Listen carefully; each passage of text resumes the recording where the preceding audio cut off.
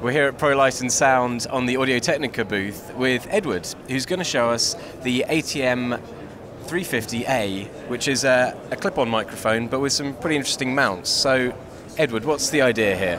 Well, we've taken our uh, sort of ever popular ATM 350. Um, we've improved the mic slightly, but what's the most interesting thing is we've done a whole new set of mounts to make it a really, uh, a really sort of um, expandable and versatile microphone.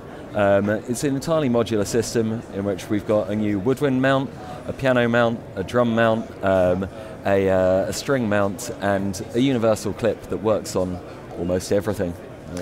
So almost everything. Um, can you talk us through some of this? And you said it was modular. Um, can you show us how this works? So we have two, uh, two uh, different lengths of, uh, of gooseneck that you just pop the microphone out and then all of them just clamp in nice and easily and then just clips on and off. This one goes nicely onto your, uh, onto your drum so it's rock solid there. You position it, it's not going to move. But you have, uh, you have a universal clip which is perfect for clipping onto, uh, clipping onto a saxophone, onto a trumpet.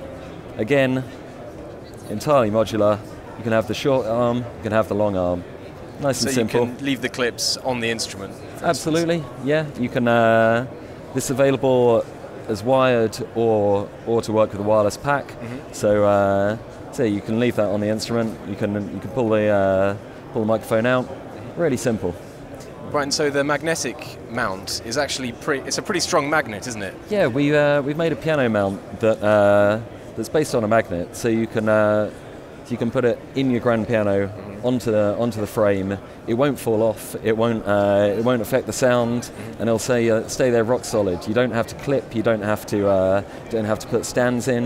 You just put it onto any metal surface, uh, and it'll stay there solidly, upside down, on its side, whatever you need.